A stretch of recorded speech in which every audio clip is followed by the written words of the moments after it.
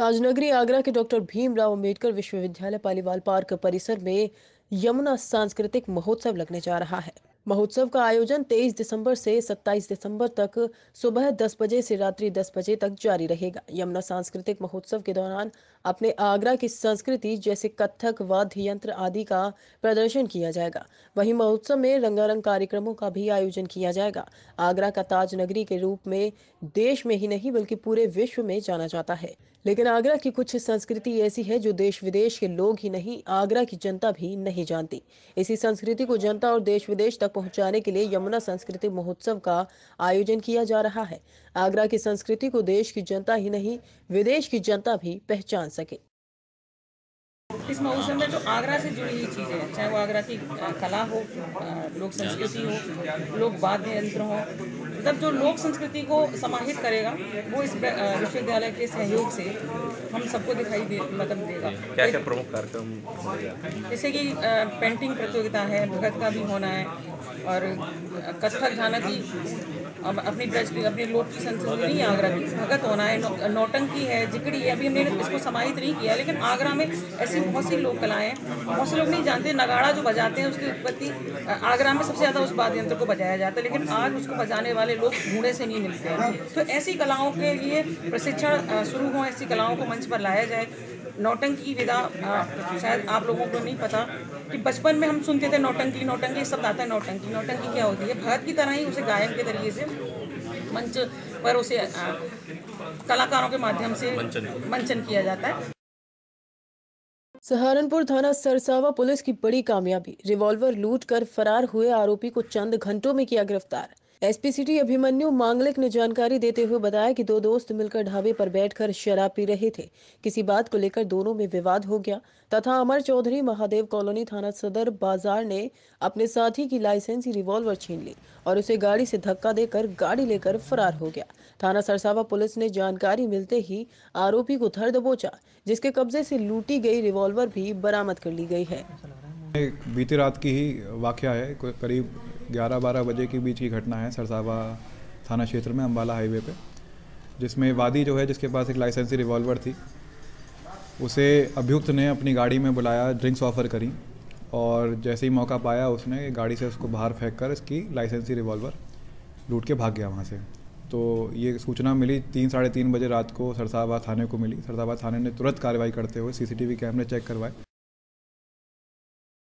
सहारनपुर थाना रामपुर, मनिहारान पुलिस की बड़ी कार्यवाही। अवैध हथियारों के साथ वीडियो वायरल करने वाले आदर्श नगर पंचायत तुलसीपुर, जनपद बलरामपुर, क्षेत्रवासियों को अरुण देव आर्य, कशोधन उर्फ़ बबलू भैया भाजपा मंडल उपाध्यक्ष का प्रणाम। आप सभी से निवेदन है, कमल वाले चिनाब चिन्ह पर मोहर लगाकर अपने आशीर्वाद से संचित करें और अरुण देव आर्य, कशोधन उर्फ़ बबलू भाई, आदर्श नगर पंचायत तुलसीपुर, बलरामपुर, भाजपा के उम्मीदवार को भारी मतों से विजय बनाए। चार अभियुक्त चढ़े पुलिस के हत्थे। तीन अवैध तमंचा, एक मस्कट, बंदूक एवं छह ज़िंदा कारतूस बरामद किए गए हैं। एसपी सिटी अभिमन्यु मांगलिक ने जानकारी देते हुए बताया कि दो गुटों में एक दूसरे से बड़ा दिखाने की होड़ में हथियारों का प्रदर्शन किया गया था, जिस पर संज्ञान लेते हुए एसएसपी सहारनपुर के द्वारा थानाध्यक्ष विनय कुमार के नेतृत्व में गठित टीम ने सर्विलांस के माध्यम से चार अभियुक्तों को गिरफ़्तार करने में सफलता हासिल की है, जिनके कब्जे से तीन अवैध तमंचे, एक मस्कट बंदूक, छह ज़िंदा कारतूस बरामद किए गए हैं। एसपी सिटी अभिमन्यु ने जानकारी देते हुए बताया कि पूछताछ के बाद इनके अन्य साथियों की भी तलाश की जा रही है। वह भी जल्द ही पुलिस की गिरफ्त में होंगे। जी हाँ बीते रविवार में एक वीडियो वायरल हुई थी जिसमें एक खेत में दिखाया जा रहा है कि पंद्रह बीस लोग हथियार असले लेकर चल रहे हैं। तो उसकी पूरी जाँच की गई, विधिगत जाँच की गई। उसमें पता चला कि वो उमाही कला थाना रामपुर क्षेत्र में उमाही कला जो गाँव है, वहाँ की वीडियो थी। उसमें पंद्रह बीस लोगों की, जितने भी लोग थे, उसमें ज़्यादातर लोगों की आइडेंटिफिकेशन कर ली गई है। उसमें से चार लोगों को आज गिरफ्तारी करके जेल भेजा जा रहा है। आगरा में इवोक योगा की संचालिका विशाखा अग्रवाल ने अपनी योग संस्था की दूसरी वर्षगांठ के अवसर पर एक मिलन समारोह का आयोजन किया, जिसके अंतर्गत अनेक योगा टिप्स देकर लोगों को जागरूक किया गया। विशाखा अग्रवाल ने वहाँ तुलसी पूजन के साथ साथ छोटा सा धार्मिक आयोजन भी किया, कुछ विशेष आसन भी किए। विशाखा अग्रवाल महिला पतंजलि उत्तर प्रदेश पश्चिमी के प्रभारी पद पर भी कार्यरत हैं। तथा पतंजलि द्वारा संचालित कक्षाओं में अपना निरंतर उत्कृष्ट प्रदर्शन देने के साथ साथ देश विदेश में भी निरंतर अपनी सेवा दे रही हैं। आगरा सहित पूरे भारत, अमेरिका तथा लंदन में भी अपनी सेवाएँ दे रही हैं। सभी महिलाओं ने मिलकर बहुत से गेम खेले और अपने उत्साह का प्रदर्शन किया। मैं पिछले दो सालों से अपना यहाँ आगरा में ही योगा संचालित कर रही हूँ। मैं पतंजलि से ही सीखी हुई हूँ। मैंने योग प्रशिक्षण से जो ज्वाइन किया था और उसको सीखते सीखते स्वामी रामदेव जी से मुझे इतना इतना ज़्यादा मुझे अच्छा लगा उनसे मिल कर के। और मैं उनसे भी मिल कर के भी आई हूँ। एक्चुअली मैं महिला पतंजलि योग समिति से युक्ति प्रभारी के पद पर कार्यरत हूँ। पुलिस अधीक्षक बलरामपुर राजेश कुमार सक्सेना व अपर पुलिस अधीक्षक बलरामपुर नम्रता श्रीवास्तव के निर्देशन में जनपद में चलाए जा रहे यातायात जागरूकता सड़क सुरक्षा अभियान के अंतर्गत क्षेत्र अधिकारी यातायात ज्योति के पर्यवेक्षण में सड़क सुरक्षा जीवन रक्षा के दृष्टिगत थाना नगर क्षेत्र के अंतर्गत लोगों को यातायात नियमों के बारे में जागरूक किया गया तथा आवश्यक दिशा निर्देश दिए गए। इस दौरान महोदया द्वारा यातायात नियमों का उल्लंघन कर वाहन चालकों, शराब पीकर वाहन चलाने वाले, बिना हेलमेट, सीट बेल्ट लगाकर वाहन चलाने वालों के विरुद्ध कार्यवाही की गई तथा गन्ने से लदे ट्रकों व ट्रैक्टरों में सुरक्षार्थ रेडियम रिफ्लेक्टर लगाए गए।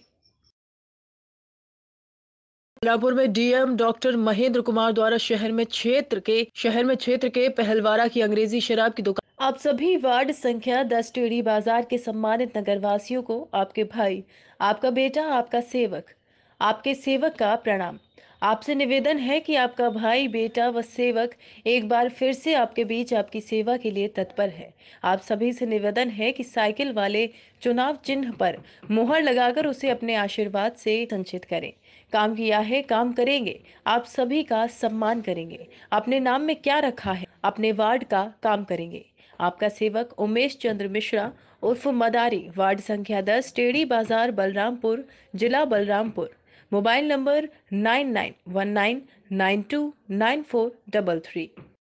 दुकान का औचक निरीक्षण किया गया। इस दौरान उन्होंने दुकान के बाहर अंग्रेज़ी शराब के ब्रांड की रेट सूची, स्टॉक रजिस्टर, दुकान का लाइसेंस, विक्रेता का नाम आदि देखा एवं स्टॉक रजिस्टर को प्रतिदिन मेंटेन किए जाने ब्रांड वाइज सेल नोट किए जाने के निर्देश दिए।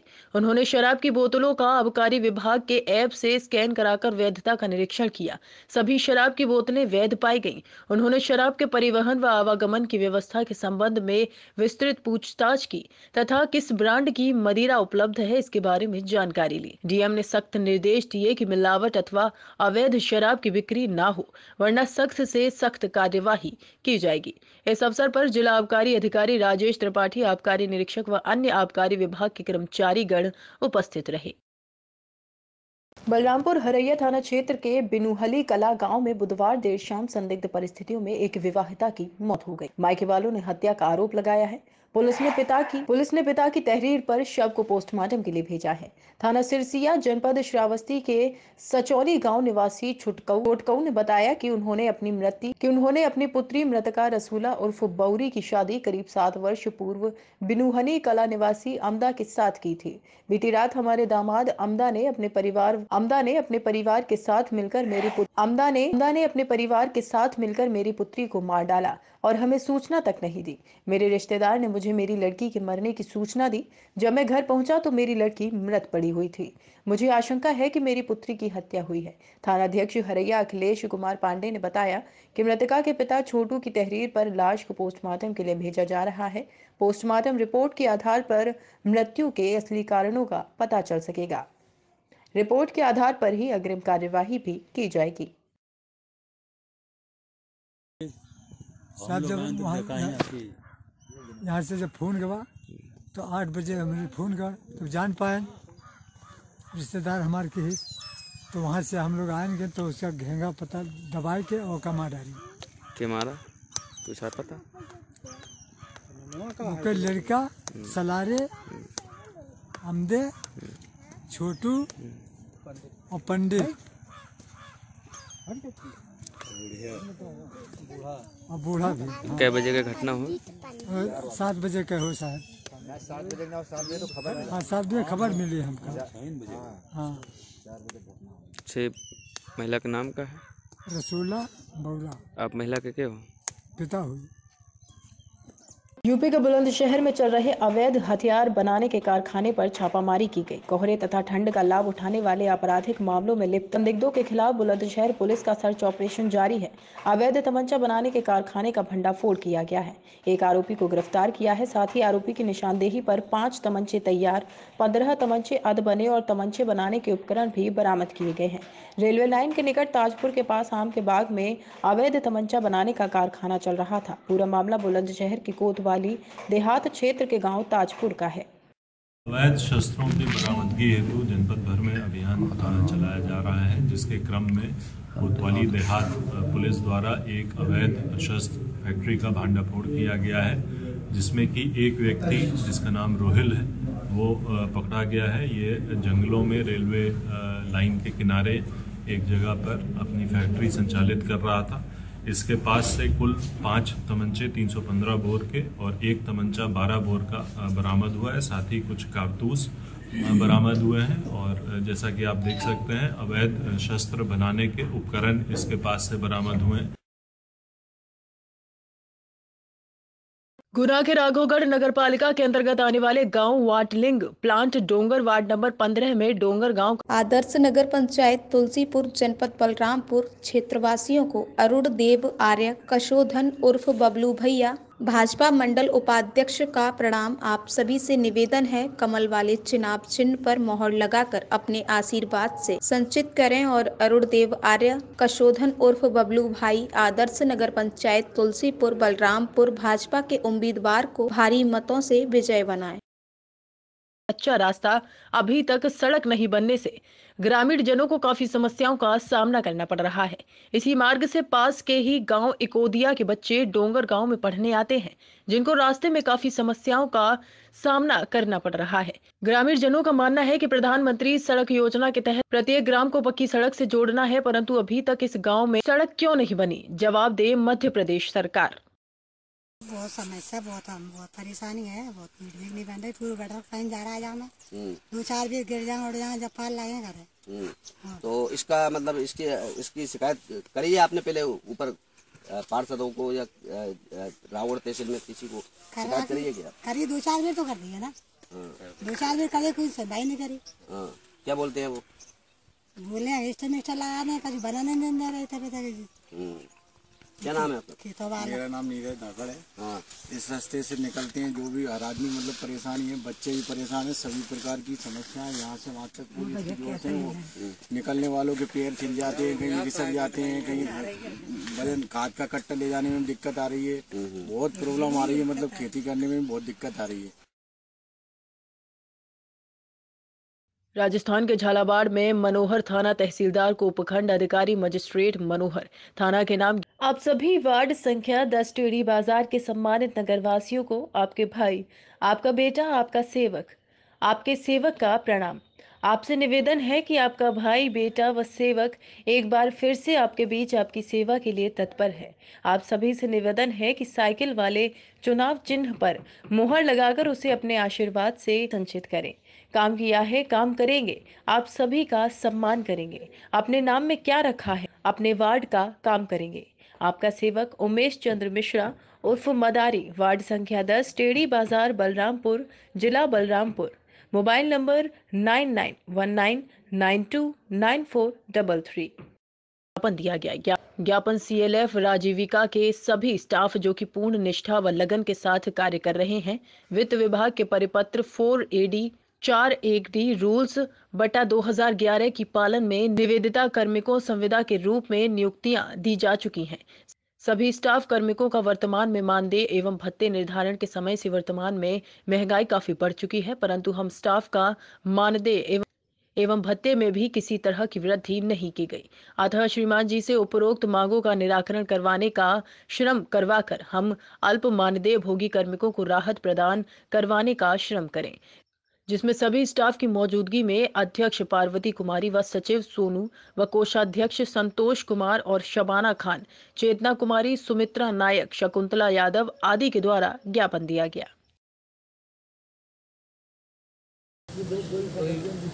सर हमारी समस्या ये है कि हम मतलब जो हमें राजीविका से क्लस्टर से मानदेय दिया जा रहा है ना तो हमें भी हाँ उसका मतलब हाँ मानदेय बढ़ाया जाए। तो किसके नाम पे ज्ञापन दिया आज? तहसीलदार जी को जो ज्ञापन दिया है। हाँ एस डी एम साहब मनोहर थाना किस आगे किसको भेजना है? हाँ। ठीक है धन्यवाद।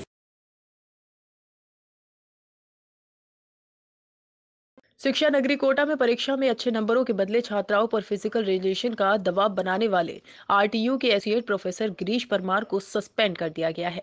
वहीं इस मामले को लेकर आरटीयू में गुरुवार को करीब तीन घंटे तक हंगामा हुआ। इधर वीसी पर एक छात्र द्वारा जूते से हमला करने पर हंगामा मच गया। आपको बता दें, आरटीयू परिसर में एक शिक्षक और छात्र के बीच की सभी मर्यादाएँ टूट गईं। एक छात्र ने वीसी एस के सिंह पर जूते से हमला कर दिया। वीसी पर हुए हमले के बाद पुलिस ने छात्रों को कैंपस से खदेड़ दिया और हमलावर छात्र को हिरासत में ले लिया। यहाँ छात्र को हिरासत में लेने की खबर कैंपस में फैली तो छात्रों का हुजूम कैंपस की ओर दौड़ पड़ा। आरोपी प्रोफेसर के खिलाफ विरोध प्रदर्शन किया। छात्र गेट के बाहर धरने पर बैठ गए। भीड़ को देखते हुए अतिरिक्त पुलिस बल को बुलाना पड़ा। आरटीयू परिसर में पुलिस बल तैनात किया गया। मौके पर city SP Keshar Singh Shekhawat additional SP Praveen Jain के साथ पुलिस अधिकारियों का दल पहुँचा। हालात तनावपूर्ण बने रहे। कोटा दक्षिण विधायक संदीप शर्मा भी आरटीयू परिसर पहुँचे। छात्र की गिरफ्तारी से गुस्साए छात्रों को समझाइश के प्रयास किए गए। इधर वीसी ने कहा कि आरोपी एसोसिएट प्रोफेसर को सस्पेंड कर दिया गया है। तीन मेंबर्स की कमेटी ने प्रारंभिक जाँच के बाद अपनी रिपोर्ट दी है। इसके आधार पर आरोपी को सस्पेंड किया गया है।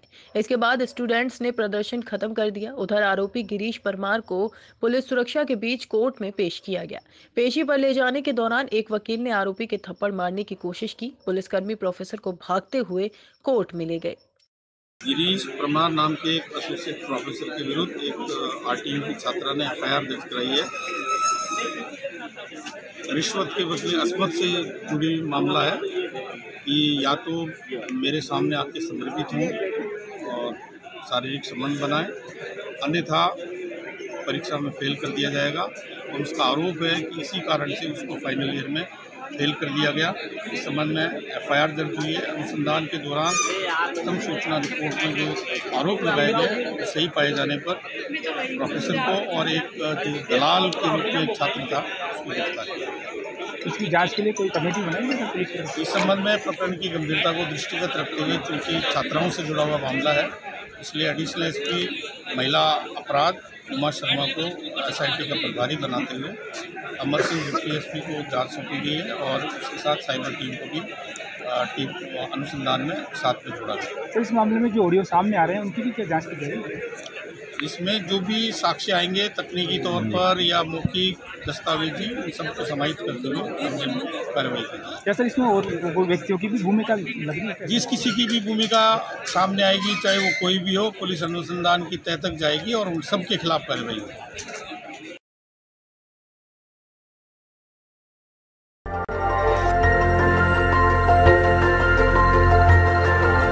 देखते रहिए डीबी भारती समाचार नज़र हर खबर पर।